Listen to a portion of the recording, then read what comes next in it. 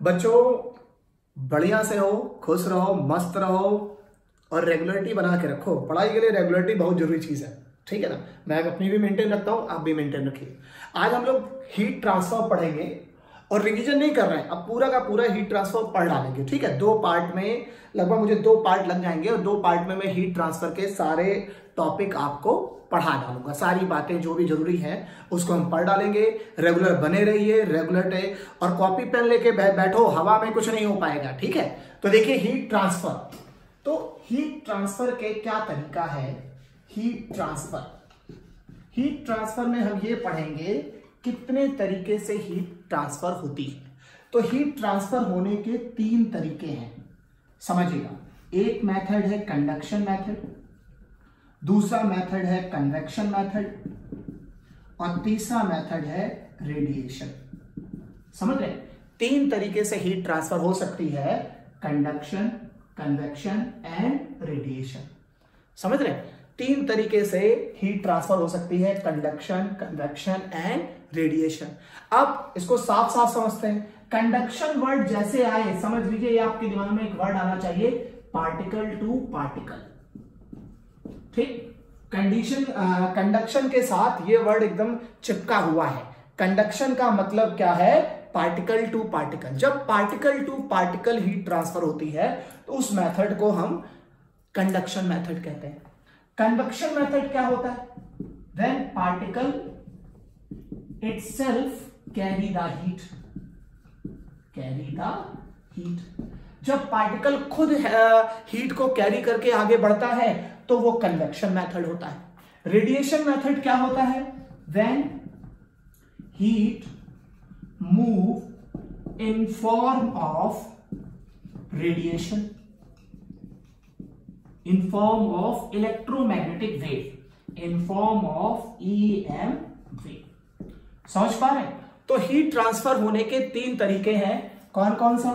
Conduction convection और radiation जब heat particle to particle travel करती है तो उसको हम कंडक्शन मेथड कहते हैं। जब हीट ट्रेवल करने के लिए पार्टिकल खुद ही हीट ट्रेवल कैरी करके एक जगह से दूसरी जगह पे जाता है तो उसे कंडक्शन मेथड कहते हैं। और जब हीट ट्रांसफ़र के लिए हीट जो है ईएम वेव के फॉर्म में आगे चलेगी तो उसको हम क्या बोलेंगे? रेडिएशन कुल मिला के इतनी देर में मैं इतना समय समझाना चाहता हूँ। हीट ट्रांसफ़र करने के तीन मेथड है। कंडक्शन कन्वेक्शन एंड रेडिएशन सबसे पहले हम थोड़ा कंडक्शन को थोड़ा और एलिबरेट कर लेते हैं. कंडक्शन मेथड क्या चीज़ देखिए तो कुल मिला के में ये समझ गए कि हीट ट्रांसफ़र करने के तीन तरीके हैं कंडक्शन कन्वेक्शन एंड रेडिएशन तो जरा हम कंडक्शन मेथड को और साफ़ साफ़ समझ लेते हैं. देखिए देखिए कंडक्शन मेथड की बात करें तो कंडक्शन की बात करते हैं. तो कंडक्शन में मैंने क्या बताया? कंडक्शन के लिए एक वर्ड याद कर लो। Heat transfer particle to particle heat जो है पार्टिकल टू पार्टिकल ट्रांसफ़र होती है but particle do not change their places particle do not change their places ठीक है? Particle to particle heat transfer होती है, लेकिन पार्टिकल अपनी जगह नहीं चेंज करता। जैसे आप एक रॉड को गर्म करते हैं, ठीक है? आपने यहाँ से इसको हीट दी तो इसके पार्टिकल एक्साइटेड हो गए एनर्जी पा गए वाइब्रेट करने लगे। तो वाइब्रेट करके अपनी एनर्जी आगे वाले पार्टिकल को देते हैं, फिर ये वाइब्रेट होता है तो इसको एनर्जी देते हैं। ऐसे खुद वाइब्रेट करके बगल वाले से टकरा टकरा के उसको एनर्जी देके हीट को आगे ट्रांसफ़र करते हैं। लेकिन पार्टिकल अपनी जगह पे हीट अपनी जगह पे पोजीशन बदलता नहीं है। तो हीट कंडक्शन मेथड क्या है?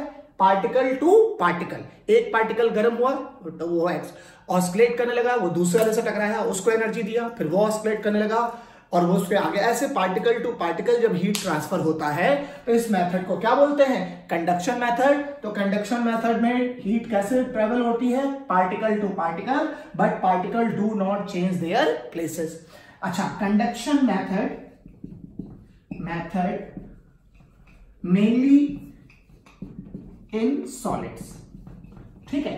मेनली सॉलिड्स में कंडक्शन मेथड से हीट का ट्रांसफ़र होता है और कंडक्शन मेथड में हीट के ट्रांसफ़र के लिए यह बहुत ज़रूरी है कि उसे मेटेरियलिस्टिक पार्टिकल मिले। जैसे आपने थर्मस देखा होगा। थर्मस में क्या करते हैं? थर्मस में डबल लेयर बनाते हैं। और जब डबल लेयर मानते हैं तो बीच का पोर्शन खाली रखते हैं।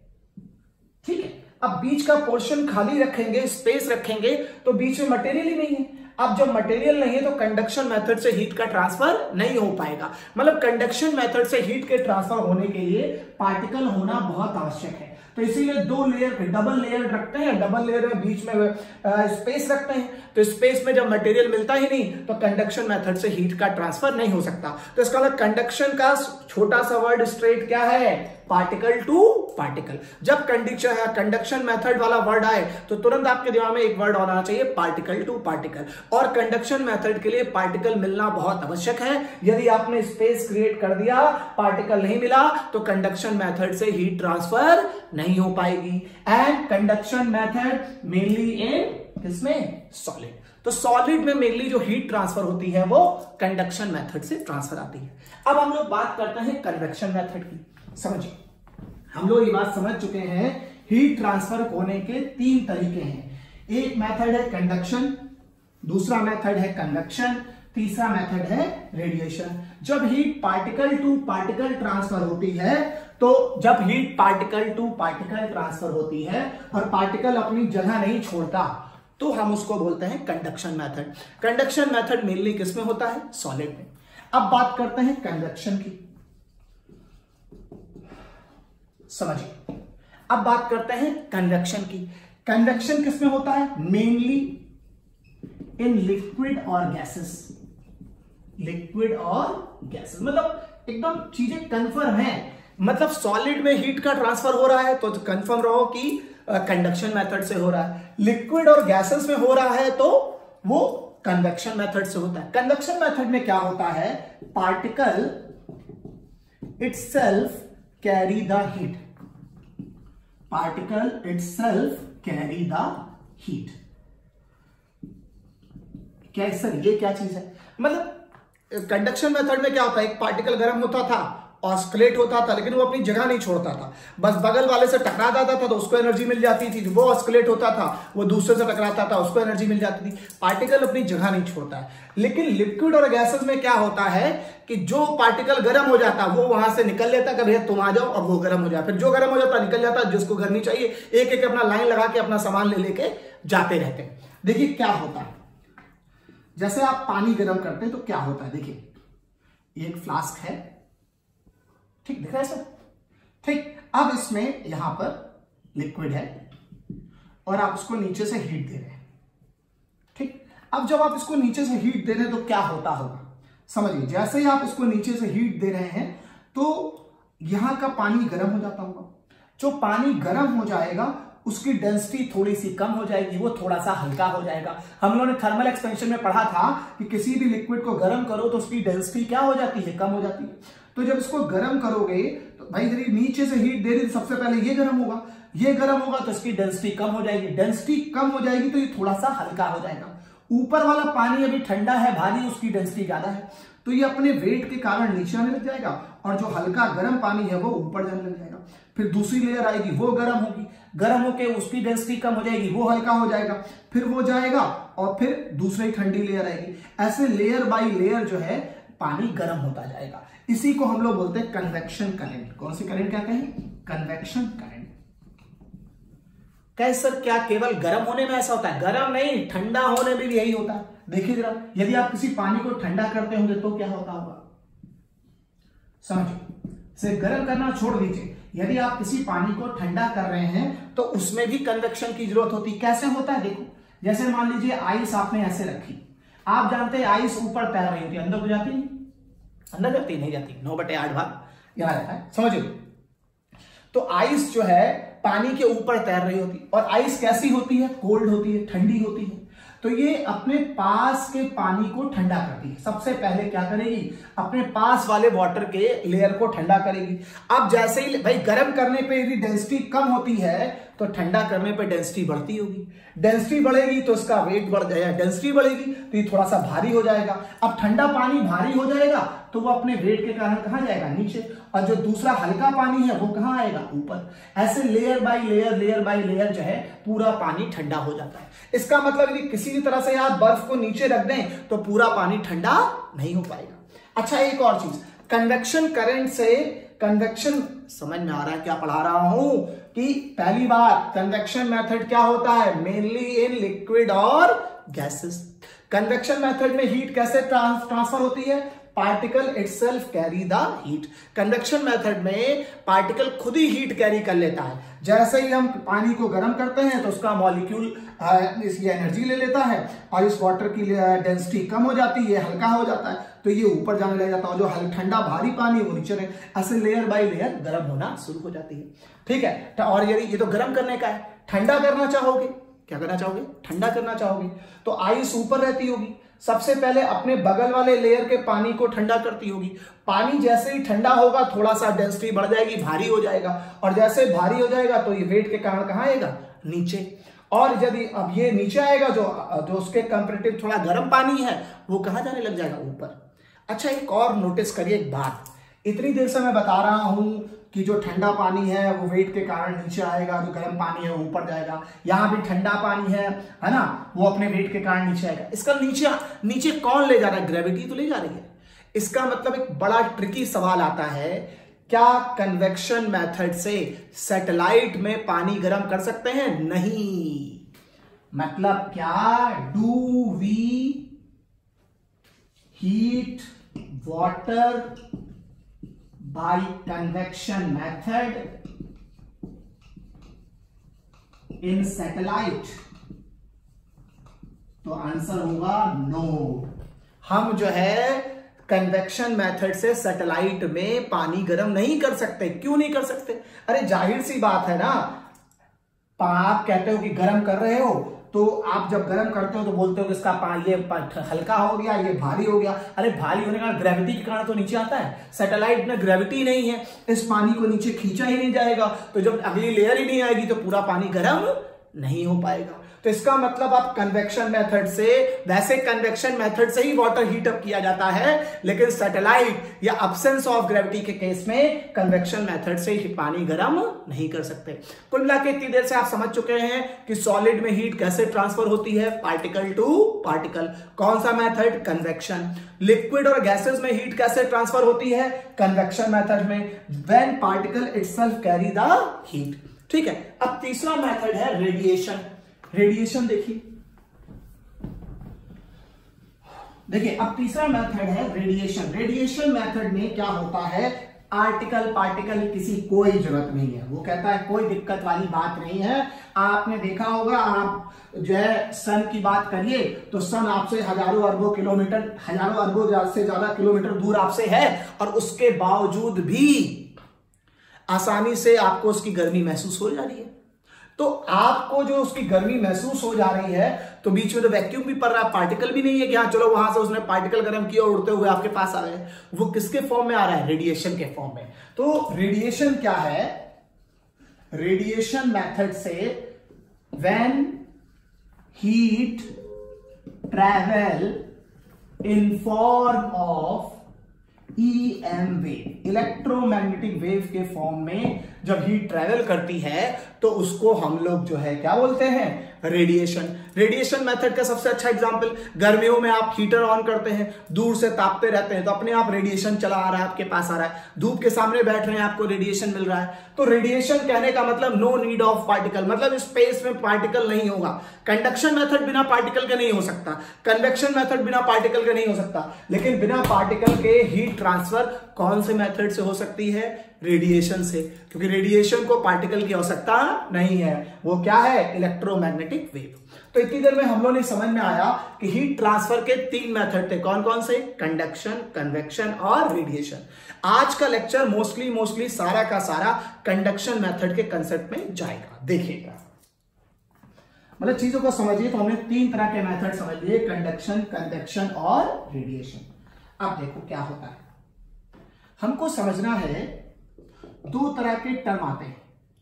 एक टर्म आता है वेरिएबल स्टेट और दूसरा टर्म आता है स्टडी स्टेट क्या सर, ये क्या चीज़ है? वेरिएबल स्टेट और स्टडी स्टेट अरे एक एग्जांपल आपको बताते हैं। आप तवे से जो रोटी बनाते हैं, तवे को जब आप गैस पे चढ़ाते हैं तो शुरुआत में तवा गर्म हो रहा होता है। गर्म हो रहा होता है, गर्म हो रहा होता है, गर्म होता रहता है। लेकिन क्या ऐसा थोड़ी ना होता है? लेकिन एक जब तक उसका टेम्परेचर टाइम के साथ साथ बदल रहा होता है, तब तक जो है, वो जो स्टेट है, वो क्या है? वेरिएबल स्टेट है। समझिए आप तवे को क्या, तवे पर तुरंत रोटी रखिए तो नहीं नहीं गर्म होगी, नहीं यूज़ पका पाएँगे रोटी को। तो पहले तवे को हम जो है, गैस के ऊपर रखते हैं। तो तवे का टेम्परेचर टाइम के साथ बढ़ता जाता है, बढ़ता है। क्या ज़िंदगी भर बढ़ता रहता है? यदि हमेशा बढ़ता रहे तो गल के खत्म हो जाए। तो इसका मतलब टेम्परेचर एक बार जाके उसका रुक जाता है बढ़ना समझ पा रहे हैं? नहीं तो ऐसा होता, आप तवे के ऊपर रख दीजिए। आप 10 दिन तक यदि इस पर रोटी पकाते रहिए तो भी तवा गल के खत्म नहीं होगा। इसका मतलब उसका टेम्परेचर एक लिमिट के बाद जाके रुक जाता है। लगातार बढ़ता रहता है खत्म हो जाता है। तो इसका मतलब तवे को जब हम जो है गैस के ऊपर रखते हैं तो शुरुआत में उसका टेम्परेचर टाइम के साथ साथ बढ़ रहा होता है। तो जब तक सरफेस का टेम्परेचर टाइम के साथ साथ बदल रहा होता है, वो जो स्टेट है, वो कौन सी स्टेट हो गई? वेरिएबल स्टेट वेरिएबल स्टेट क्या है? When temperature of surfaces changing with time. Changing with time. ठीक? जब टाइम के साथ सरफेस का टेम्परेचर बदल रहा है तो वो स्टेट कौन सी हो गई? वेरिएबल स्टेट इस वेरिएबल स्टेट में हमारी कोई डिस्कशन नहीं करना है। हमारा हीट ट्रांसफ़र के जितने न्यूमेरिकल कंसेप्ट है, वो सारे के सारे किस पे हैं? स्टेडी स्टेट पे। अब क्या होता है? थोड़ी देर बाद जब आप देखते हो कि काम भर का तवा गर्म हो चुका है तो उसके ऊपर आप हीट रोटी रखते हो। अब रोटी रखते हो, अब क्या होता है? जैसे मान लीजिए आपने 100 जूल एनर्जी दी तो तवा अपने मतलब भर का 30 जूल लेगा, जिससे उसका अपना टेम्परेचर मेंटेन रहे और बचा हुआ 70 जूल किसको दे देगा? रोटी को। फिर आपने दूसरी रोटी रखी फिर उसको जो है तवा, उसको एनर्जी देगा, अपना तीस जूल अपने मतलब भर का रखेगा, अपना टेम्परेचर मेंटेन करेगा एक्स्ट्रा सत्तर जूल रोटी को दे देगा। अब क्या हो रहा है कि अपने मतलब भर का वो यूज़ कर रहा है, बचा हुआ वो ट्रांसमिट कर दे रहा है। इससे उसका टेम्परेचर भी मेंटेन है और आगे हीट भी ट्रांसफ़र होती चली जा रही है। तो जब सरफेस का टेम्परेचर टाइम के साथ साथ फिक्स हो जाता है, वो जो सिचुएशन है, उसी को क्या बोलते हैं? स्टीडी स्टेट तो स्टीडी स्टेट क्या है? When temperature of surface do not change with time. Do not change with time. मतलब स्टेडी स्टेट में ये ज़रूरी नहीं कि हर सरफेस का टेम्परेचर बराबर हो जाए। समझिए समझिए। स्टेडी स्टेट का ये मतलब नहीं कि पूरी बॉडी के हर सरफेस का टेम्परेचर बराबर हो जाए, लेकिन हर सरफेस का टेम्परेचर फिक्स हो जाए। अब वो टाइम के साथ बदल नहीं रहा है। हो सकता है जैसे तुमने एक रॉड ली। तो जो हो सकता है कि जो रॉड एकदम फ्लेम के पास हीट के एकदम पास है हीट सोर्स के पास है, हो सकता है वो 100 डिग्री सेंटीग्रेड पे हो, उसकी बगल वाली 80 पर हो, उससे बगल वाली चार जो है 60 पर हो, उससे बगल वाली 40 पे हो और आखिरी वाला 20 पर हो। तो ये कह रहा है कि अब ये जो टेम्परेचर है, ये फिक्स अब ये बदले ना। सौ सौ पे बना रहा है, अस्सी अस्सी पे बना रहा है, साठ साठ पे बना रहा है, चालीस वाला चालीस बना रहा है। अब ये टाइम के साथ इसका टेम्परेचर ना बदले तो ये स्टेट कौन सी हो जाएगी? स्टेडी स्टेट अरे, ज़ाहिर सी बात है, जब तक तुम हीट सप्लाई कर रहे हो, तब तक ये टेम्परेचर मेंटेन है। अब यदि तुम ये हीट बंद कर दो तो हो सकता है सौ वाले का थोड़ा, अब टेम्परेचर मेंटेन नहीं हो पाएगा। सौ वाला हो सकता है अस्सी पे आ जाए, अस्सी वाला साठ पे आ जाए, साठ वाला बीस पे आ जाए, चालीस वाला बीस पे आ जाए साठ वाला, चालीस पे आ जाए चालीस वाला, बीस पे आए बीस वाला, ज़ीरो पे आ जाए। फिर आप हीट देंगे तो धीरे धीरे सबका टेम्परेचर लेवल धीरे धीरे डाउन होता जाएगा। लेकिन आप सप्लाई मेंटेन रखेंगे तो इनका टेम्परेचर लेवल टाइम के साथ फिक्स रहेगा। कुल मिला मैं तुम्हें यह समझाना चाहता हूँ जब सरफेसेस का टेम्परेचर टाइम के साथ कम हो रहा हो या बढ़ रहा हो तो कौन सी स्टेट वेरिएबल जब सरफेसेस का टेम्परेचर टाइम के साथ फिक्स है, इस लेयर का टेम्परेचर ये है, इसका ये है, इसका ये है, ना बढ़ रहा है, ना घट रहा है, वो कौन सी स्टेट स्टडी स्टेट तो हमारी जितनी भी पढ़ाई है, वो किसके ऊपर है बच्चा? स्टडी स्टेट पर है। तो अब हम जितने भी न्यूमेरिकल जितना भी कंसेप्ट जो भी डिस्कस करेंगे, वो स्टडी स्टेट पे है। हम जनरली रॉड और स्लैब लेकर डिस्कस करेंगे। इसमें ये मानते हैं कि जो किनारा, समझ पा रहे हो? जो किनारा सोर्स के पास है, उसका टेम्परेचर ज़्यादा होगा। और ज़ाहिर सी बात है, पहले हीट लेगा, थोड़ी अपने आप को पहले गर्म करेगा, फिर जो एक्स्ट्रा आएगी, उसको आगे वाले को देगा। तो इसकी टेम्परेचर ज़्यादा होगा, इसके पास थोड़ा सा कम पहुंचेगा। अब ये अपने आप को पहले पूरा गर्म कर लेगा, जितना उसको चाहिए, फिर बची हुई आगे ट्रांसफ़र करेगा। तो इसमें सबसे ज़्यादा टेम्परेचर सोर्स के पास वाले का होता है। उससे कम टेम्परेचर उससे उससे थोड़े दूर वाले का होगा। उससे कम टेम्परेचर सोर्स से थोड़ा और दूर वाले का होगा। उससे कम टेम्परेचर हीट के सोर्स से थोड़ा और दूर वाले स्लेयर का होगा। तो जैसे जैसे सोर्स से दूर जाते हैं, दूरी के साथ साथ टेम्परेचर कम होता जाता है। क्या बोला? जैसे जैसे हीट के सोर्स से दूर जाते जाते हैं तो दूरी के साथ साथ टेम्परेचर कम होता जाता है। इसी को बोलते हैं टेम्परेचर ग्रेडियंट क्या बोलते हैं? टेम्परेचर ग्रेडियंट समझिए समझिए इतनी देर में हम लोगों ने क्या क्या बातें समझी? हीट ट्रांसफ़र के तीन मेथड है। कौन कौन से? कंडक्शन कन्वेक्शन और रेडिएशन कंडक्शन कब होता है? पार्टिकल टू पार्टिकल किसमें होता है? सॉलिड में। कन्वेक्शन किसमें होता है? लिक्विड और गैसेस में जब पार्टिकल खुद हीट एक जगह से ए, ए, हीट को कैरी करे। और रेडिएशन कहता है कोई दिक्कत नहीं किसी मीडियम की ज़रूरत नहीं किसी पार्टिकल की ज़रूरत नहीं है हीट तो इलेक्ट्रोमैग्नेटिक वेव के फॉर्म में अपना मस्ती से खुद ही चला जाएगा। ये रेडिएशन मेथड हो गया। दो तरह के हमने कंसेप्ट पढ़े वेरिएबल स्टेट और स्टीडी स्टेट जब टेम्परेचर ऑफ़ सरफेस टाइम के साथ साथ बदल रहा होता है वेरिएबल स्टेट जब टेम्परेचर ऑफ़ सरफेस टाइम के साथ फिक्स हो जाता है, उसको क्या बोलते हैं हम लोग? Steady state. ठीक है? अब, लेकिन हमने ये बात समझी, किसी भी रॉड में जो किनारा सोर्स के पास है, वो हाई टेम्परेचर पे होगा और हीट के सोर्स से जैसे जैसे दूर जाते जाएँगे टेम्परेचर धीरे धीरे क्या होता जाएगा? फॉल होता जाएगा थोड़ा कम होता जाएगा। तो दूरी के साथ साथ जो टेम्परेचर कम होता जाता है, इसी कंसेप्ट को हम लोग टेम्परेचर ग्रेडियंट कहते हैं। समझिए? दूरी के साथ साथ जो टेम्परेचर कम होता जाता है, उसी को हम लोग क्या बोलते हैं? टेम्परेचर ग्रेडियंट समझिए समझिए समझिए। तो हम बात करते हैं टेम्परेचर ग्रेडियंट की। टेम्परेचर ग्रेडियंट ठीक है? तो टेम्परेचर ग्रेडियंट का मतलब है rate of fall of temperature with distance ठीक है? टेम्परेचर ग्रेडियंट का मतलब है rate of fall of temperature with distance ये देखिए। ठीक, अब जैसे मान लीजिए, यहाँ का टेम्परेचर थीटा वन है, ये हाई टेम्परेचर है, और यहाँ का टेम्परेचर थीटा टू है लो टेम्परेचर है, और ये डिस्टेंस है एक्स ठीक है तो rate of fall of temperature तो टेम्परेचर ग्रेडियंट की बात करें, वैसे तो formula minus D theta by D X होता है इससे यूनिट बन जाएगी सेंटीग्रेड प्रति मीटर या सेंटीग्रेड प्रति सेंटीमीटर जो भी बनाना चाहो। ठीक है? तो अरे भाई rate of fall of temperature with distance है। लेकिन न्यूमेरिकल लगाने में लॉजिक लगाओ। अब न्यूमेरिकल जब तुम्हें लगाना हो तो मैं तुम्हें और शॉर्टकट तरीका जब भी तुम्हें टेम्परेचर ग्रेडियंट निकालना है, ये माइनस माइनस हटाओ। काम की चीज़ सीखो। टेम्परेचर ग्रेडियंट निकालना है तो बोलेंगे टेम्परेचर डिफरेंस ओवर डिस्टेंस क्या बोला? टेम्परेचर डिफरेंस ओवर डिस्टेंस और टेम्परेचर डिफरेंस में तुम्हें काम करना हाई में से लो हमेशा घटाना तो माइनस नहीं रहेगा, तुम्हारी कैलकुलेशन आसान रहेगी। तो तुम्हें टेम्परेचर डिफरेंस निकालना है तो तुम हाई में से लो घटाना theta one minus theta two upon gap ये तुम्हारा टेम्परेचर ग्रेडियंट निकालने का तरीका हो गया, तब तुम्हें ये माइनस लिखने की आवश्यकता। ये माइनस तो सिर्फ़ इतना बता रहा था कि दूरी के साथ साथ जाने पे टेम्परेचर घटता है। लेकिन नेचुरल वे में टेम्परेचर ग्रेडियंट न्यूमेरिकल में जब तुम्हें लगाना हो तो इससे तुम्हें और आसानी पड़ेगा। High minus low temperature difference over gap ठीक है? तो टेम्परेचर ग्रेडियंट का मतलब समझ में आ गया? Rate of fall of temperature with distance और हमने सीखा भी था कि जो सोर्स के एकदम पास होगा, उसका टेम्परेचर ज़्यादा होगा। हीट के सोर्स से जैसे जैसे दूर जाते जाएँगे टेम्परेचर कम होता जाएगा। तो दूरी के साथ साथ किस हिसाब से टेम्परेचर घट रहा है?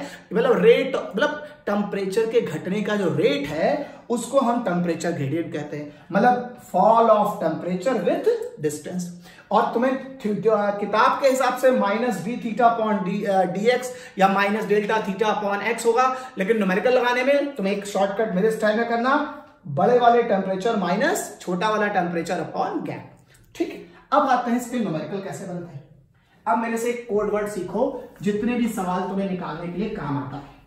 समझिए समझिए समझिए। समझिए अब हम लोग एक कंसेप्ट की कंसेप्ट समझते हैं। कौन सा कंसेप्ट की कंसेप्ट क्या है की कंसेप्ट हमारा? हमारा की कंसेप्ट यह है, जब भी एक ही मटेरियल की रॉड हो, क्या बोल रहा हूँ? एक ही मटेरियल की रॉड हो, और टेम्परेचर पूछे सीखिए सीखिए सीखिए जब भी एक मटेरियल की रॉड हो अलग अलग मटेरियल के नहीं, एक ही मटेरियल के लिए। जब भी एक मटेरियल की रॉड हो और टेम्परेचर पूछे, तब टेम्परेचर हमेशा टेम्परेचर ग्रेडियंट का स्टेप बनाकर सॉल्व करेंगे। ग्रेडियंट का स्टेप बनाकर निकालेंगे। सीखिए सीखिए सीखिए, मैं क्या सिखा रहा हूँ आपको? जब भी एक ही मटेरियल की रॉड हो अलग अलग मटेरियल की रॉड के लिए नहीं सिखा रहा। एक ही मटेरियल की रॉड हो और बीच में कहीं का भी टेम्परेचर पूछे, तब टेम्परेचर हमेशा टेम्परेचर ग्रेडियंट का स्टेप बना के निकालेंगे। और पूरी रॉड वर्क के लिए टेम्परेचर एक टेम्परेचर ग्रेडियंट एक ही जैसा होता है। पूरी रॉड में टेम्परेचर ग्रेडियंट यूनिफॉर्म होता है। तो किसी भी दो पॉइंट के बीच तुम्हें टेम्परेचर यूनिट लोगे तो बात वही रहेगी। यूनिफॉर्म रहता है। ये भैया आपको न्यूमेरिकल निकालने के लिए सबसे बेसिक कंसेप्ट है। जब भी एक मटेरियल की रॉड हो और टेम्परेचर पूछे तो टेम्परेचर हमेशा टेम्परेचर ग्रेडियंट का स्टेप बनाकर निकालेंगे। पूरी रॉड में टेम्परेचर ग्रेडियंट यूनिफॉर्म या एक जैसा रहता है। किसी भी दो पॉइंट के बीच टेम्परेचर ग्रेडियंट बनाओगे तो अगले दो पॉइंट के टेम्परेचर ग्रेडियंट के स्टेप के बराबर होगा। एक ही जैसा टेम्परेचर ग्रेडियंट टेम्परेचर ग्रेडियंट एक प्रॉपर्टी है ना, जो पूरी रॉड भर में एक ही जैसी तो रहेगी? जैसे एक सवाल देखिए। ठीक तो हम इसको समझते हैं। जब भी एक मटेरियल की रॉड हो और कहीं टेम्परेचर पूछे तो आप टेम्परेचर ग्रेडियंट का स्टेप बनाकर आप टेम्परेचर निकाल सकते हैं। देखिए जरा जैसे एक सवाल बनाता हूँ आपके लिए। ये एक रॉड ले ली मैंने। ठीक? अब इस रॉड का यहाँ का टेम्परेचर है 80 डिग्री सेंटीग्रेड समझिए यहाँ का टेम्परेचर है 20 डिग्री सेंटीग्रेड और ये डिस्टेंस है 100 सेंटीमीटर ठीक? और आपसे इस जगह का टेम्परेचर पूछा है, जो 20 सेंटीमीटर की दूरी पर है। समझिए। क्या यहाँ दो अलग अलग रॉड है? नहीं, एक ही रॉड है। मैंने आज ही सिखाया, यदि एक ही रॉड हो और कहीं का टेम्परेचर पूछे तो हमेशा टेम्परेचर ग्रेडियंट का स्टेप बना के सॉल्व करेंगे। और पूरी रॉड में एक जैसा टेम्परेचर ग्रेडियंट होता है, किसी भी दो पॉइंट के बीच का temperature gradient other two point के टेम्परेचर ग्रेडियंट के बराबर होगा। हम चाहें तो इसके इसके बीच टेम्परेचर ग्रेडियंट बना सकते हैं। यदि हम इसके इसके बीच टेम्परेचर ग्रेडियंट बनाए तो बनेगा 80 माइनस बीस अपॉन सौ। हो गया? बताइए। हमने बताया जब भी एक ही मटेरियल की रॉड होगी और कहीं पर टेम्परेचर पूछे तो टेम्परेचर ग्रेडियंट का स्टेप बना के सॉल्व करेंगे और पूरे रॉड भर में एक ही जैसा टेम्परेचर ग्रेडियंट होता है। तो किसी भी दो पॉइंट के बीच का टेम्परेचर ग्रेडियंट अगर टू पॉइंट के टेम्परेचर ग्रेडियंट के क्या होगा? बराबर होगा। तो यहाँ टेम्परेचर ग्रेडियंट बनाओ 80 माइनस बीस अपॉन सौ। इनके इनके बीच बना लो? या इसके इसके बीच बना लो? 80 माइनस थीटा इन दोनों के बीच भी बना सकते हैं। दो इक्वेशन बनाने पड़ेगा अस्सी माइनस थीटा अपॉन बीस, बस अब आप इसको सॉल्व कर लीजिए। तो अस्सी माइनस बीस साठ हो जाएगा, ये सौ हो जाएगा, ये अस्सी माइनस थीटा अपॉन बीस हो जाएगा। बीस से ये पाँच बार चला जाएगा, ठीक है? अब ये हो जाएगा साठ अपॉन पाँच, अस्सी माइनस थीटा ये बारह बार चला जाएगा, अस्सी माइनस थीटा तो यहाँ से थीटा बराबर आ जाएगा अस्सी माइनस बारह। तो ये आपका सॉल्व होके अभी आपका आ जाएगा एट और ये हो जाएगा सिक्सटी एट डिग्री सेंटीग्रेड ये आपका टेम्परेचर हो जाएगा। ठीक समझिए हाँ आठ, दो, दस, छह, सात और एक, आठ। ठीक है तो ये आपका टेम्परेचर निकल के आ गया। तो मैंने क्या सिखाया कंसेप्ट बताओ। पहले तो ये समझिए कि रॉड में डिस्टेंस के साथ साथ टेम्परेचर घटता रहता है। एक ही रॉड होगी तो पूरी रॉड में टेम्परेचर ग्रेडियंट हर जगह एक जैसा होता है। एक ही मटेरियल की रॉड में किसी एक पॉइंट पे टेम्परेचर पूछे तो किसी दो जगह के टेम्परेचर ग्रेडियंट का स्टेप बना के रख दो अननोन क्वांटिटी निकल आएगी। जब भी एक मटेरियल की रॉड होगी तो टेम्परेचर हमेशा टेम्परेचर ग्रेडियंट का स्टेप बनाकर सॉल्व होगा, और पूरी रॉड में एक जैसा टेम्परेचर ग्रेडियंट होता है। तो हमने इसके इसके बीच टेम्परेचर ग्रेडियंट बनाया। 80 माइनस अस्सी माइनस बीस अपॉन मैंने बताया ना टेम्परेचर ग्रेडियंट निकालने में हमेशा बड़े वाले टेम्परेचर से छोटा वाला टेम्परेचर घटा के अपॉन डिस्टेंस तो 80 माइनस बीस अपॉन सौ हो जाएगा। और एक और बना लो 80 माइनस थीटा अपॉन बीस। तुम्हारा मन आता तो थीटा माइनस बीस अपॉन आ, ये तुम्हारा 80 करके कर सकते थे। सबसे बात वही आएगी। लेकिन एक ही मटेरियल के केस में यदि आपको टेम्परेचर निकालना है तो टेम्परेचर ग्रेडियंट का स्टेप बनाकर सॉल्व करेंगे। आगे देखिए क्या कर सकते हैं हम लोग। अब हम लोग समझते हैं rate of flow of heat समझिए। या लॉ ऑफ़ हीट ट्रांसफ़र समझिए। लॉ ऑफ़ हीट ट्रांसफ़र देखो बच्चा law of heat transfer law of heat transfer ये तो लिखा ही ना, इसी में हेडिंग लिखी क्यों ज़्यादा मेहनत करें? इंक बचाते हैं। Law of heat transfer law of heat transfer क्या कहता है? मान लीजिए कोई स्लैब है ठीक, ये एक स्लैब दे रखी है। और इस, इसकी लंबाई है एल ठीक। और इस स्लैब का क्रॉस सेक्शन एरिया है ए ठीक। और यहाँ का टेम्परेचर थीटा वन यहाँ का टेम्परेचर थीटा टू या टेम्परेचर डिफरेंस डेल्टा थीटा कह सकते हो, ठीक। तो ये बोला है कि एम और, मान लीजिए टी टाइम तक हीट सप्लाई की जा रही कितने टाइम तक? टी टाइम तक।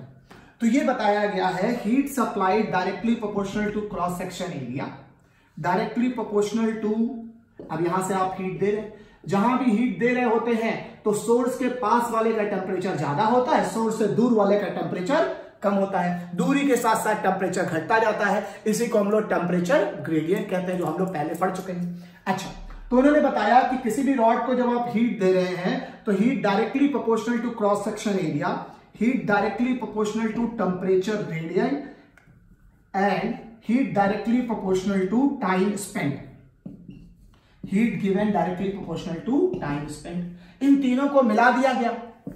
जब हम इन तीनों को मिलाया तो Q डायरेक्टली प्रोपोर्शनल टू हो गया A delta theta over L into T अब एक कांस्टेंट लगा दिया, जिसे कंडक्टिविटी कोफिशियंट बोलते हैं। क्या बोलते हैं? कंडक्टिविटी कोफिशियंट तो हीट सप्लाई का फॉर्मूला आ गया K A delta theta over L into T ये आपके पास सॉल्व हो गया।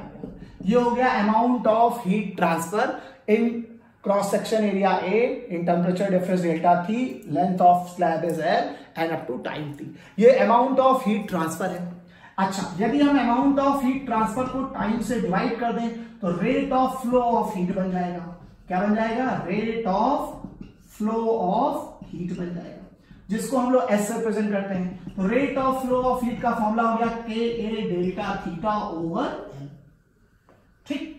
समझिए समझिए समझिए समझिए। आपको समझना है कि एक स्लैब थी। स्लैब का क्रॉस सेक्शन एरिया ए था, लंबाई एल थी, यहाँ का टेम्परेचर थीटा वन यहाँ का टेम्परेचर थीटा टू अब हम इसको हीट सप्लाई कर रहे हैं। तो बताया गया कि जो हीट सप्लाइड है वो directly proportional to cross section area होता है directly proportional to temperature gradient होता है and directly proportional to time spent होता है। इन तीनों इक्वेशन को मिला लिया गया। तो ये बन गया A delta theta over L into time T अब हमने इस प्रोपोर्शनल के साइन को हटा दिया। यहाँ पर एक कांस्टेंट लगा दिया। इस कॉन्स्ट यहाँ देखा इस कांस्टेंट के को ही बोलते हैं कंडक्टिविटी कोफिशिएंट कंडक्टिविटी कोफिशिएंट ठीक? ये थर्मल कंडक्टिविटी कोफिशिएंट हो गया। तो अब आपके पास टी टाइम में हीट सप्लाई का फॉर्मूला हो गया K A delta theta over L into T अच्छा इसकी यूनिट किसमें लोगे? जूल में। जूल में ले सकते हो कैलोरी में ले सकते हो।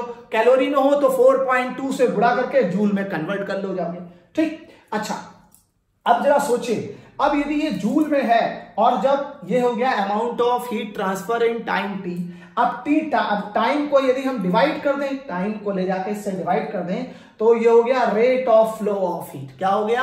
Rate of flow of heat अच्छा बताओ, ये तुम इस क्यू को किसमें बता रहे हो? जूल में. अब जूल को टाइम से डिवाइड करोगे तो किसमें आ जाएगा? पावर में वॉट जूल अपॉन टाइम तो एनर्जी अपॉन टाइम क्या हो गया? पावर तो rate of flow of heat की यूनिट क्या हो जाएगी? वॉट ठीक rate of flow of heat की यूनिट हो जाएगी वॉट तो इसका मतलब आपके पास rate of flow of heat का फॉर्मूला हो गया K A delta theta over L अच्छा अब इसमें एक कंसेप्ट आता है यूनिट ऑफ़ कंडक्टिविटी कोफिशिएंट कुछ समझ पा रहे हो क्या नोटंकी चल रहा है? कॉपी पेन लेके बैठो और फटाफट पढ़ते जाओ मेरे साथ. समझिए समझिए.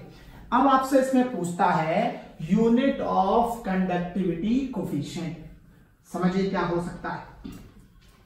यूनिट ऑफ़ कंडक्टिविटी कोफिशियंट क्या चीज़ है देखिए। Unit of conductivity coefficient conductivity coefficient unit of conductivity coefficient की बात करते हैं, ये क्या चीज़ है? ठीक है? देखिए। अब कैसे निकालेंगे? हम लोग पढ़ चुके हैं rate of flow of heat K A delta theta over L equal to H ये तो पढ़ चुके हैं? हम लोग जो है, इसको पढ़ चुके हैं rate of flow of heat K A delta theta over L और आपको इस conductivity coefficient thermal conductivity coefficient की यूनिट निकालेंगे आप देखो कैसे निकालेंगे। इसकी यूनिट हो जाएगी मीटर स्क्वायर इसकी यूनिट हो जाएगी सेंटीग्रेड इसकी यूनिट हो जाएगी मीटर और इसकी यूनिट हो जाएगी वॉट ठीक है? अरे भाई, ये एनर्जी पर सेकेंड था ना rate of flow of heat था ना।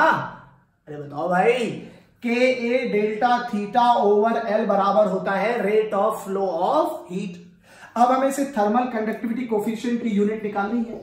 तो हमने एरिया की यूनिट रख दिया मीटर स्क्वायर सेंटीग्रेड की unit change in temperature unit रख दिया सेंटीग्रेड लेंथ की यूनिट रख दी मीटर और ये rate of flow of heat था। ये कौन था? Rate of flow of heat ये rate of flow of heat exactly Q upon T था। तो ये जूल पर सेकेंड से क्या हो गया? वॉट अब मीटर से ये मीटर कैंसिल हो जाएगा। तो आपको unit of thermal conductivity coefficient निकल के आएगा। ये आपका आ जाएगा watt over watt per centigrade metre ये आपका unit of thermal conductivity coefficient हो गया। ठीक है? समझिए समझिए समझिए। आपसे थर्मल कंडक्टिविटी कोफिशियंट की यूनिट पूछे तो K A delta theta over L बराबर rate of flow of heat होता था होता था, नहीं होता था। अब हमसे के की यूनिट पूछ रहा है तो अच्छा ये थर्मल कंडक्टिविटी कोफिशियंट मटेरियल पे डिपेंड करता है। ये मटेरियल की प्रॉपर्टी कांस्टेंट है ना? किसकी प्रॉपर्टी है? मटेरियल की प्रॉपर्टी ठीक? तो एरिया की यूनिट हो गई metre square change in temperature हो गया सेंटीग्रेड लेंथ हो गया मीटर में, और एच क्या था? Rate of flow of heat तो rate of flow of heat क्या होता है? जूल पर सेकेंड मतलब वॉट तो एच की यूनिट हो गई वॉट अब यहाँ से मीटर से मीटर कैंसिल हो जाएगा. तो वॉट पर सेंटीग्रेड मीटर ये आपका unit of thermal conductivity coefficient आ गया. कुछ समझ पा रहे हैं? क्या क्या पढ़ा? हम लोगों ने मेथड ऑफ़ हीट ट्रांसफ़र पढ़ लिया कि हीट ट्रांसफ़र तीन तरीके से होता है कंडक्शन कन्वेक्शन और रेडिएशन कंडक्शन कैसे होता है? पार्टिकल टू पार्टिकल कन्वेक्शन में क्या होता है? Particle itself carry the heat और रेडिएशन कहता है आर्टिकल पार्टिकल हटाओ, हम ईएम वेव के फॉर्म में हम हीट ट्रांसफ़र कर देंगे. ठीक है, उसके बाद दो तरह के स्पेशल स्टेट पढ़ी हम लोगों ने. वेरिएबल स्टेट और स्टेडी स्टेट वेरिएबल स्टेट क्या होती है? जब सरफेस का टेम्परेचर टाइम के साथ साथ बदल रहा हो तो वेरिएबल स्टेट होती है। जब सरफेस का टेम्परेचर टाइम के साथ फिक्स हो जाए, अब बदले ना तो उसे बोलते हैं हम लोग स्टेडी स्टेट और हमारे जितने भी सवाल हैं, वो स्टेडी स्टेट में किए जा रहे हैं। अच्छा और एक चीज़ हमने समझी कि जो सोर्स के पास है, उस लेयर का टेम्परेचर ज़्यादा होगा, और जैसे जैसे सोर्स से लेयर हमारी दूर होती जाएगी तो डिस्टेंस के साथ साथ उसका टेम्परेचर कम होता जाएगा। उसी बात, उसी प्रॉपर्टी को हम लोग क्या बोलते हैं? Temperature gradient rate of fall of temperature with distance अब हमने सीखा कि एक सिंगल, एक ही मटेरियल की रॉड है और कहीं टेम्परेचर निकालना है तो टेम्परेचर ग्रेडियंट का स्टेप बनाकर हम सॉल्व करेंगे और टेम्परेचर निकल आएगा। अब हमने सीखा rate of flow of heat का formula K A delta theta over L कुछ समझ पा रहे हो? क्या पढ़ा रहा हूँ? देखिए देखिए देखिए, क्या हो रहा है? कॉपी किताब लेकर बैठिए और साथ ही साथ पढ़ते लिखते जाइए। देखिए जरा, और क्या कर सकते हैं हम लोग? समझिए समझिए। तो हमने समझा कि एक ही मटेरियल के रॉड हो। समझिए? एक ही मटेरियल की रॉड है तो आपको कहीं टेम्परेचर निकालना है तो तो आप जो है टेम्परेचर रेडियंट से निकालते हैं। सिखाया नहीं सिखाया सीखे? पहला की कंसेप्ट पढ़ाया कि एक ही मटेरियल की रॉड है और कहीं टेम्परेचर आपसे पूछे तब तो, तो आप निकालेंगे किससे? टेम्परेचर रेडियंट से। और अलग अलग मटेरियल की रॉड है। तो आप टेम्परेचर निकालेंगे heat rate of heat flow से। रेट ऑफ़ हीट ट्रांसफ़र का फॉर्मुला पढ़ाया? Rate of heat transfer formula क्या पढ़ाया? H equal to K A delta theta over L अभी कराया नहीं कराया?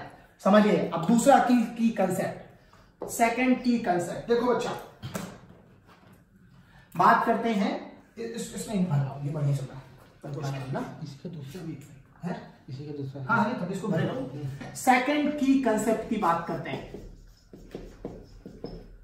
सेकंड की कंसेप्ट समझो बेटा, समझो समझो समझो।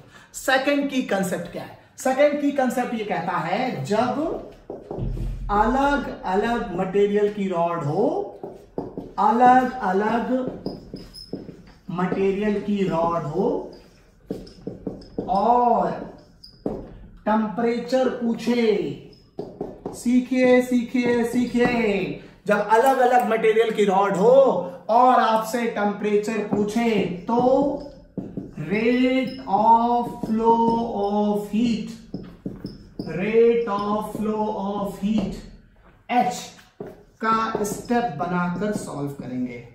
स्टेप बनाकर सॉल्व करेंगे। सीखे सीखे सीखे। क्या लिख दिया? बहुत ही गजब की बात आपके सामने आ चुकी है। ध्यान दीजिए।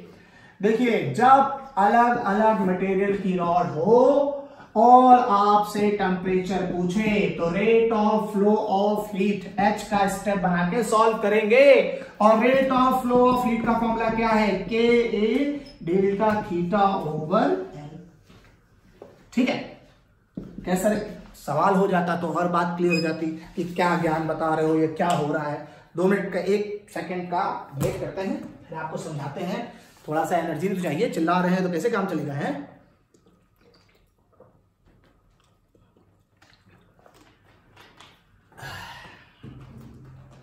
समझिए समझिए समझिए।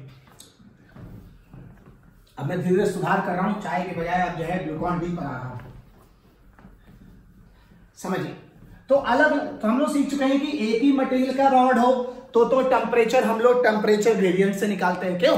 एक ही मटेरियल की रॉड हो तो टेम्परेचर किससे निकालते हैं? टेम्परेचर ग्रेडियंट का स्टेप बना के। लेकिन अलग अलग मटेरियल की रॉड हो तो हम rate of flow of heat का स्टेप बनाकर सॉल्व करेंगे। जैसे एक बढ़िया सा सवाल देखिए। मान लीजिए वही पुराना सवाल ले लेते हैं, अभी जो आपके सामने आया था, उसी को यूज़ कर लेते हैं। मान लीजिए हमने दो रॉड ले ली ठीक? दो रॉड ले ली, पुराना वही, ये अस्सी डिग्री सेंटीग्रेड, ये बीस डिग्री सेंटीग्रेड। ठीक है? और यहाँ हो गया बीस सेंटीमीटर। और ये तुम्हारा हो गया अस्सी सेंटीमीटर। ठीक। क्रॉस सेक्शन एरिया दोनों का सेम के इसका कंडक्टिविटी क्वेश्चन के और इसका कंडक्टिविटी क्वेश्चन टू के और आपसे इसका टेम्परेचर पूछा है। ठीक है? Temperature of common interface temperature of common surface समझिए, आपको दो रॉडे दे रखी हैं। यदि एक ही मटेरियल की रॉड होती, तब तो कोई दिक्कत ही नहीं था। तब तो टेम्परेचर ग्रेडियंट का स्टेप बनाते temperature difference over length temperature difference over length theta निकला था लेकिन क्या एक ही मटेरियल की रॉड है? नहीं। अब तो अलग अलग मटेरियल की रॉड है। इसका कंडक्टिविटी कोफिशिएंट के है। इसका कंडक्टिविटी कोफिशिएंट टू के है। लेकिन हमने बताया कि जब अलग अलग मटेरियल की रॉड होगी तो rate of flow of heat का स्टेप बनाकर सॉल्व करेंगे। क्योंकि पूरी रॉड भर में rate of flow of heat एक जैसा होगा। क्या बोला? पूरी रॉड में rate of flow of heat कैसा होगा? एक जैसा। अभी आगे और कंसेप्ट पढ़ाएँगे तो आपको ये मेरी बात समझ में आएगी कि लॉजिक अभी से तैयार कर लीजिए। अलग अलग मटेरियल की रॉड हो और बीच में कहीं टेम्परेचर पूछे तो rate of flow of heat का स्टेप बना के सॉल्व करेंगे। और हम कह सकते हैं कि इसमें rate of flow of heat और इसमें rate of flow of heat दोनों क्या होगी? बराबर होगी। क्योंकि यहाँ से, अरे rate of flow of heat एक करंट जैसी होती है हीट करंट जैसी तो एक ही जैसी करंट पूरी बॉडी में चलेगी। एक ही रेट से हीट ट्रांसफ़र होगी। तो यहाँ पे rate of flow of heat निकालो। Rate of flow of heat का फॉर्मूला पता है सबको? K A delta theta over L क्या? K A delta theta over L चलो इसके लिए बनाओ। के ए डेल्टा थीटा बनाओ। 80 minus theta over L L कितना? 20 अब इसमें बनाओ rate of flow of heat के के का मतलब कितना? Two K cross section area A delta theta बनाओ तो हो जाएगा ज़ीरो सॉरी थीटा माइनस बीस। हमेशा ज़्यादा वाले में से कम को घटाएँगे अपॉन एल तो K A delta theta over L K A delta theta theta minus बीस। हमेशा ज़्यादा वाले टेम्परेचर से कम वाले घटाना माइनस साइन नहीं लेना पड़ेगा। अपॉन अस्सी। अब इसको सॉल्व कर लेते हैं। के से के कैंसिल ए से ए कैंसिल बीस से ये कैंसिल हो जाएगा चार बार, ठीक है है ना? और ये फोर ऊपर ले आओगे तो ये जाएगा फोर एट्टी माइनस थीटा और ये हो जाएगा टू थीटा माइनस ट्वेंटी ये हो जाएगा फोर एट थर्टी टू तीन सौ बीस माइनस फोर थीटा ये टू थीटा और ये हो जाएगा चालीस, तीन सौ बीस प्लस चालीस, और इधर हो जाएगा सिक्स थीटा ये हो जाएगा तीन सौ साठ, ये हो जाएगा सिक्स थीटा दिख रहा है? ठीक है? अब यहाँ सिक्स सिक्स थर्टी तो सिक्स बराबर आ जाएगा साठ डिग्री सेंटीग्रेड ये आपके सामने आंसर आ गया। तो मैंने क्या समझाया कि एक ही मटेरियल की रॉड होती तो टेम्परेचर किससे निकालोगे? टेम्परेचर ग्रेडियंट का स्टेप बराबर रख के सॉल्व कर लोगे। लेकिन अलग अलग मटेरियल की रॉड है तो rate of flow of heat का फॉर्मूला बराबर रख के सॉल्व करोगे। और rate of flow of heat का फॉर्मूला क्या होता है? K A delta theta over ठीक है? तो जब भी अलग अलग मटेरियल की रॉड में टेम्परेचर पूछे तो rate of flow of heat जो है, का स्टेप बनाकर सॉल्व करेंगे। कितने बढ़िया बढ़िया। अब हम लोग समझते हैं। अभी तक आप लोगों ने काफ़ी कुछ चीज़ें जान ली। टेम्परेचर ग्रेडियंट के बारे में समझ लिया rate of flow of heat के बारे में समझ लिया थर्मल कंडक्टिविटी कोफिशियंट के बारे में समझ लिया। एक ही मटेरियल की रॉड हो तो टेम्परेचर ग्रेडियंट से टेम्परेचर निकालना है। अलग अलग मटेरियल की रॉड हो तो rate of flow of heat से निकालना अब हम लोग समझते हैं एनोलॉजी विथ इलेक्ट्रिकल सर्किट समझिए। अब ये जो हीट का कंसेप्ट है, इसको एनोलॉजी विथ इलेक्ट्रिसिटी कैसे करेंगे? समझिए समझिए समझिए। एनोलॉजी विथ इलेक्ट्रिसिटी एनोलॉजी मतलब कंपैरिजन कह लो, उसी का जो है परिवार वाला बोल लो, या उसी के जैसी प्रॉपर्टीज़ मैच करती हैं, है ना? तो देखो, सीखिए जरा क्या होता है। हम आपको रिलेट करने की कोशिश करते हैं। इधर ले लो इलेक्ट्रिसिटी ठीक? और इधर ले लो हीट ट्रांसफ़र तो हम आपको कंपेयर कराते हैं। अब बताइए, किसी वायर में इलेक्ट्रिसिटी क्यों बहती है? किसी वायर में इलेक्ट्रिसिटी तब बहती है जब उसमें क्या हो? पोटेंशियल डिफरेंस V1 से V2 पोटेंशियल डिफरेंस किसी वायर में यदि पोटेंशियल डिफरेंस होता है तो उसमें हीट बहती है। ठीक? किसी वायर में जब पोटेंशियल डिफरेंस होता है तो उसमें हीट बहती है। और ऐसे किसी रॉड में हीट कब बहती है? जब उसमें टेम्परेचर डिफरेंस हो। समझ रहे जब उसमें क्या हो? टेम्परेचर डिफरेंस ठीक? तो हम ये कह सकते हैं, क्या कह सकते हैं कि potential difference potential difference is equal to किसके? टेम्परेचर डिफरेंस के। समझिए समझिए समझिए कंपेरेटिवली इक्वलेंट इक्वल इक्वलेंट उसके जैसा। जैसे दस रुपए की नोट पाँच पाँच रुपए की दो नोटों के बराबर है, लेकिन पाँच पाँच रुपए वाली दो नोट दस रुपए की नोट नहीं है। ठीक है, वही वाली बात है इलेक्ट्रिसिटी से हीट ट्रांसफ़र के कंपैरिजन कर रहे हैं हम तो हम कहते हैं कि जिस जिस तरह से वायर में पोटेंशियल डिफरेंस होता है, उसी तरह से रॉड में स्लैब में क्या होता है? टेम्परेचर डिफरेंस ठीक है? वायर में पोटेंशियल डिफरेंस के कारण करंट बहती है और स्लैब में टेम्परेचर डिफरेंस के कारण क्या बहती है? हीट बहती है. ठीक है? अच्छा अब आगे समझते हैं. आपने पढ़ा होगा इलेक्ट्रिक करंट क्या होता है? इलेक्ट्रिक करंट होता है rate of flow of charge होता है? Electric current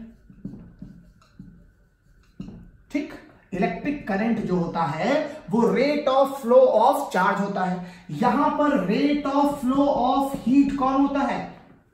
Rate of flow of heat कौन होता है? एच एच जो है वो rate of flow of heat है।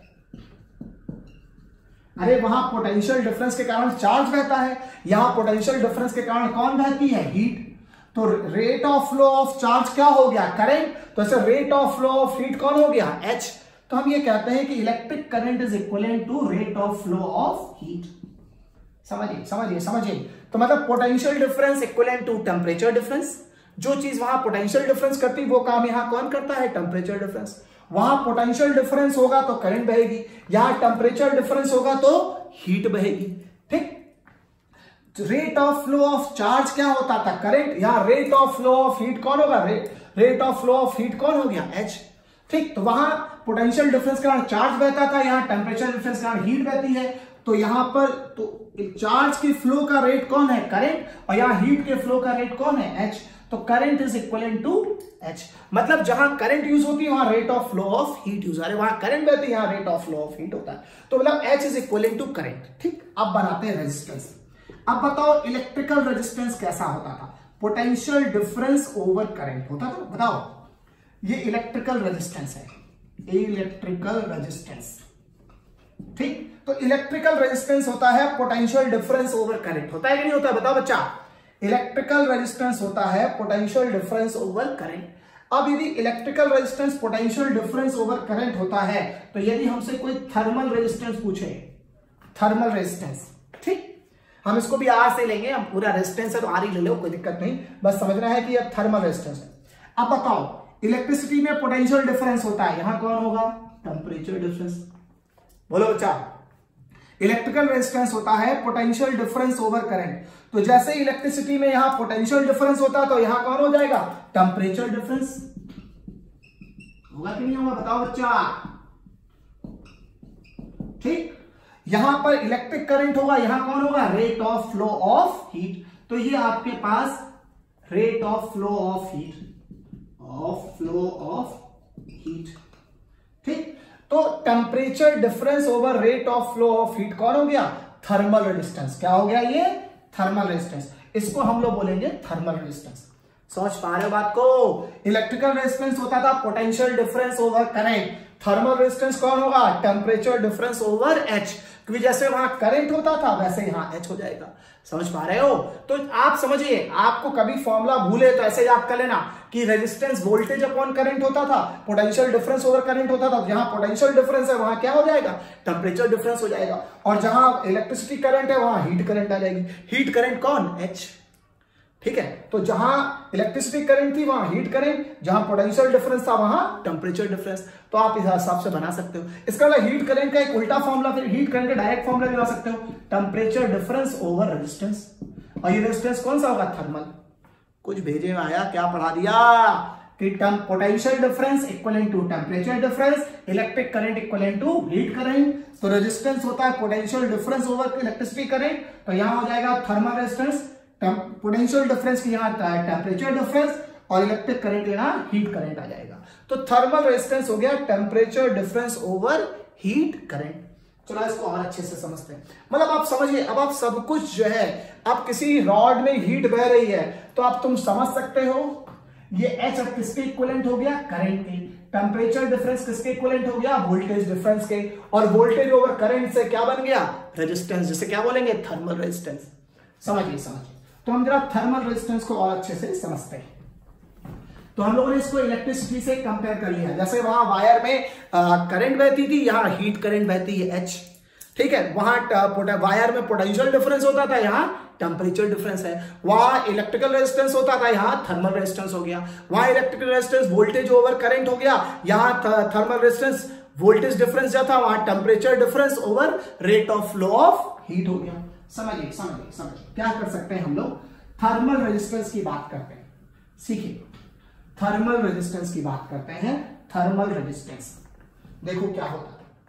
थर्मल रेजिस्टेंस थर्मल रेजिस्टेंस ठीक। थर्मल रेजिस्टेंस की बात करें तो थर्मल रेजिस्टेंस अब हम लोग पढ़ चुके हैं। इलेक्ट्रिसिटी से कंपेयर करो। इलेक्ट्रिसिटी में होता था पोटेंशियल डिफरेंस ओवर करें यहाँ क्या होगा? Temperature difference over heat current होगा? अब करंट बोले तो आई एच और पोटेंशियल डिफरेंस बोले तो डेल्टा थीटा ठीक? तो ये हो गया temperature difference over heat current इसको और सही सॉल्व कर लेते हैं। तो थर्मल रेजिस्टेंस का फॉर्मूला हो गया temperature difference over heat current अब बताओ temperature difference over heat heat current का एच का फॉर्मूला नहीं पता क्या तुम्हें? क्या पढ़ा था? K A delta theta over L rate of flow of heat का यही तो फॉर्मूला पढ़ा था तुम लोगों ने। K A delta theta over L यहाँ से delta theta delta theta cancel हो जाएगा। तो रेजिस्टेंस का फॉर्मूला आ जाएगा एल अपॉन के समझ पा रहे हैं? तो आपके सामने थर्मल रेजिस्टेंस के थर्मल रेजिस्टेंस आर के दो फॉर्मूले हो गए एक कौन हो गया बताओ? Temperature difference over heat current delta theta over H बोलिए बोलिए बोलिए। थर्मल रेजिस्टेंस का एक फॉर्मूला हो गया delta theta over H temperature difference over heat current और एक थर्मल रेजिस्टेंस का एक और फॉर्मूला आपके सामने आ गया क्या? एल अपॉन के सीखिए सीखिए सीखिए सीखिए सब क्या हो गया आपके साथ? देखिए। ठीक तो थर्मल रेजिस्टेंस क्या होता है? Temperature difference over heat current और दूसरा एक फॉर्मूला हो गया एल अपॉन के ठीक है, आगे बढ़ते हैं। अब बात करते हैं यूनिट ऑफ़ थर्मल रेजिस्टेंस की। सीखे सीखिए सीखिए। Unit of thermal resistance unit of thermal resistance की बात करें तो देखो इसमें क्या हो सकता है। Unit of thermal resistance unit of thermal resistance देखो क्या हो सकता है। Unit of unit of thermal resistance thermal resistance thermal resistance की आपको यूनिट निकालनी है। अब थर्मल रेजिस्टेंस की यूनिट कैसे निकलेगी? आपने थर्मल रेजिस्टेंस का फॉर्मूला पढ़ रखा है एल अपॉन के पढ़ रखा है। थर्मल रेजिस्टेंस का फॉर्मूला पढ़ रखा है एल अपॉन के पढ़ रखा है। अब यहाँ से निकालो। ठीक है, या और अच्छा कर सकते हो। सारी बात छोड़ो। थर्मल रेजिस्टेंस का एक फॉर्मूला और होता है temperature difference over rate of flow of heat पढ़ा नहीं पढ़ा है? Temperature difference over rate of flow of heat बताओ टेम्परेचर डिफरेंस क्या? Centigrade rate of flow of heat क्या? वॉट जूल पर सेकेंड होता है rate of flow of heat तो यूनिट ऑफ़ थर्मल रेजिस्टेंस आपके पास आ जाएगा सेंटीग्रेड प्रति वॉट ये आपके पास यूनिट ऑफ़ थर्मल रेजिस्टेंस आएगा। अच्छा एक और बात, आप समझ रहे हैं? चक्कर क्या है कि ये इलेक्ट्रिसिटी के सारे कंसेप्ट को फॉलो करता है। मतलब ऐसे समझो कि तुम दो स्लैब सीरीज़ में लगा दोगे तो तुम दोनों में कहोगे सीरीज़ में है तो इन दोनों में करंट क्या होगी? सेम करंट सेम होने का मतलब हीट करंट सेम होगी, जो अभी पिछले सवाल में यूज़ किया। ठीक है ना? यदि तुम जो है दो स्लैब पैरेलल में लगा दोगे तो तुम इनके लिए बोल सकते हो कि टेम्परेचर डिफरेंस क्या होगा? सेम जो इसके बीच टेम्परेचर डिफरेंस होगा, वो इसके बीच टेम्परेचर डिफरेंस होगा। इवन देन थर्मल रेजिस्टेंस के भी फॉर्मूले ऐसे ही फॉलो होंगे। यदि इसका टोटल रेजिस्टेंस बताना पड़े, मान लो इसका थर्मल रेजिस्टेंस R1 है, इसका थर्मल रेजिस्टेंस R2 है, ये सीरीज़ में स्लैब लगे होंगे तो इसका टोटल रेजिस्टेंस सीरीज़ वाला फॉर्मूला फॉलो करेगा R1 प्लस R2 ये दोनों स्लैब यदि पैरेलल में लगे होंगे तो इसका टोटल रेजिस्टेंस आप R1 R2 upon R1 plus R2 से निकाल सकते हैं। समझ पा रहे बात को? मतलब इलेक्ट्रिसिटी के सारे कंसेप्ट को ये फॉलो करेगा। आपको समझ में आता है कि ये तार होते तो एक ही जैसी करंट जाती तो आप स्लैब में कहोगे कि एक ही जैसा रेट फ्लो ऑफ़ हीट होगा। आप बोलते कि ये दोनों तार होते पैरेलल है तो इनका पोटेंशियल डिफरेंस सेम होता तो आप बोलोगे दोनों स्लैब का टेम्परेचर डिफरेंस सेम होगा।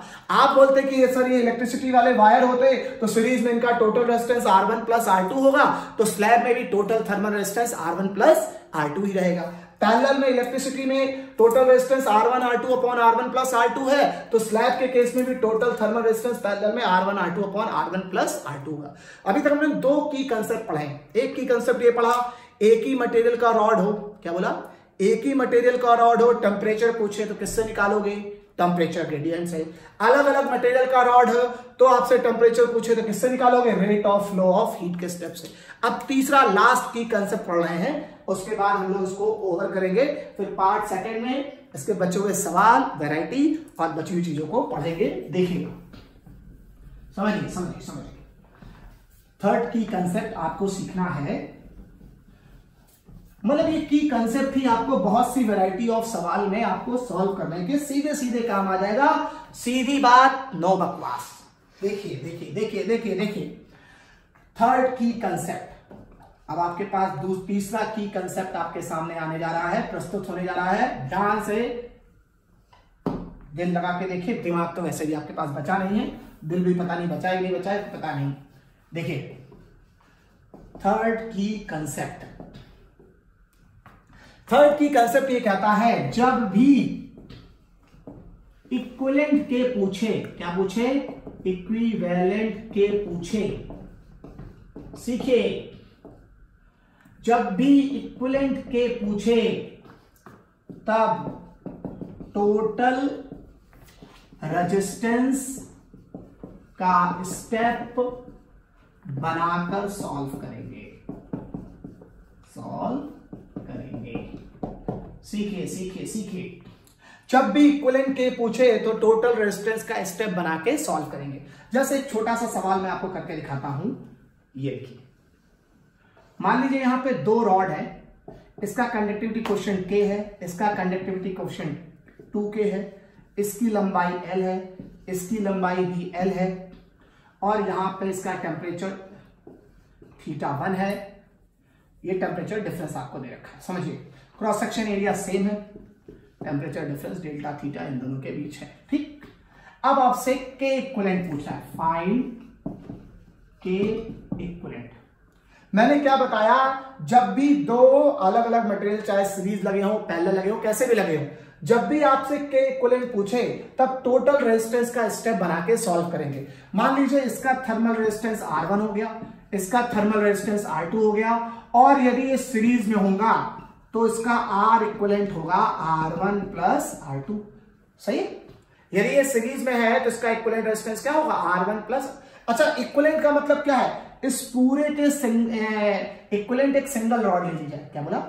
इस पूरे के इक्वलेंट एक सिंगल रॉड ले ली जाए ठीक, यही होता है इक्वलेंट निकालने का तरीका होता है। मतलब ये कह रहा है, यहाँ अलग अलग दो रॉड लगे एक सिंगल रॉड ले लिया जाए तो उसका के इक्वलेंट क्या होना चाहिए? उसमें क्या के होना चाहिए? सब सारी वैल्यू ऐसी ही रहेगा।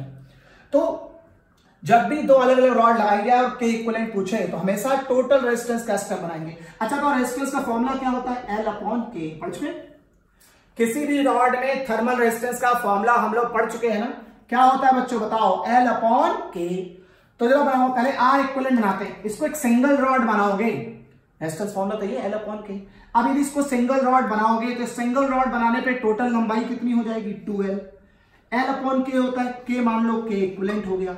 और इस क्रॉस सेक्शन एरिया हो गया ए खत्म। Two L upon K equivalent two A R one बनाओ। आर वन इसका रेजिस्टेंस बनाओ तो एल अपॉन के हो जाएगा। एल इसकी लंबाई एल के और एल अपॉन के हो जाएगा। प्लस अब इसका रेजिस्टेंस बनाओ तो L upon two K into A हो जाएगा। ठीक? अब यहाँ से क्या क्या कैंसिल हो सकता है? L upon A L upon A L upon A cancel हो जाएगा। अब यहाँ से एल अपॉन ए कैंसिल हो जाएगा तो यहाँ जाएगा टू अपॉन के इक्वलेंट ठीक है? यहाँ हो जाएगा वन अपॉन के ये हो जाएगा वन अपॉन टू के तो यहाँ से जाएगा टू अपॉन के इक्वलेंट। ये टू के यहाँ से एलसीएम हो जाएगा तो यह आ जाएगा टू प्लस वन। समझिए समझिए समझिए। टू के एलसीएम हो जाएगा, के के कट जाएगा तो टू पर जाएगा।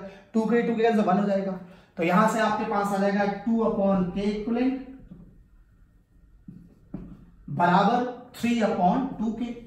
तो यहाँ से आप सॉल्व करिए तो के इक्वलेंट बराबर आ जाएगा आपके पास फोर के बाई थ्री। ठीक है? तो ये आपके पास हो गया। तो देखिए, हम लोगों ने क्या किया?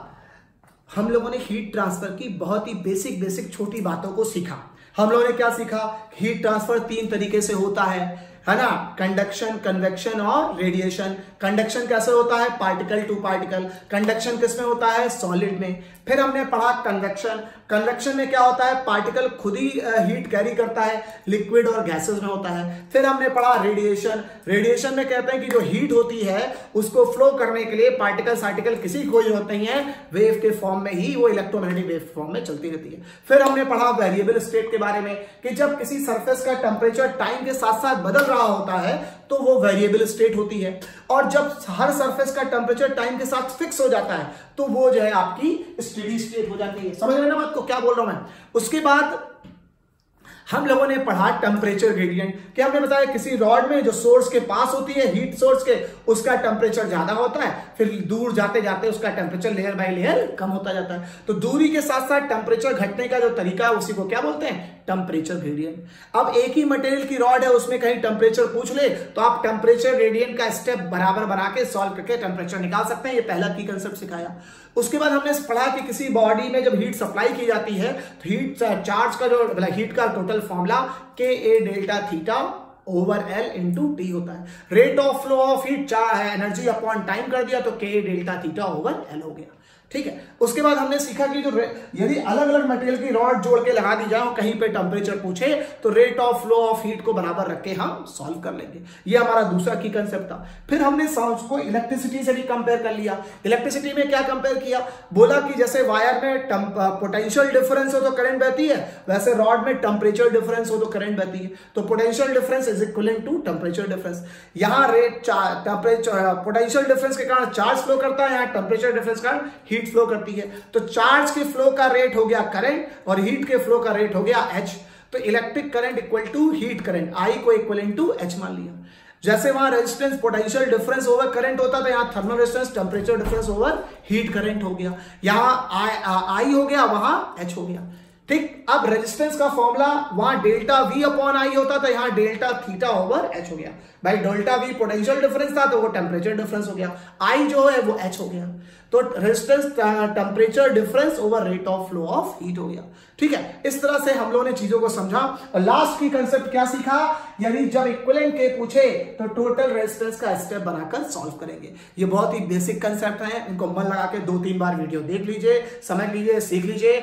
नेक्स्ट वीडियो अभी मैं कल परसों में जो डालूँगा, इसके कंटिन्यूशन में डालूँगा, इसके अप्लाइड सवाल करूँगा और रेडिएशन का। मतलब मेरे ख्याल से ये दो लेक्चर अभी आपका पूरा पूरा लग जाएगा। दो से ढाई लेक्चर लेकिन आपका थर्मल हीट ट्रांसफ़र बहुत अच्छे से क्लियर हो जाएगा।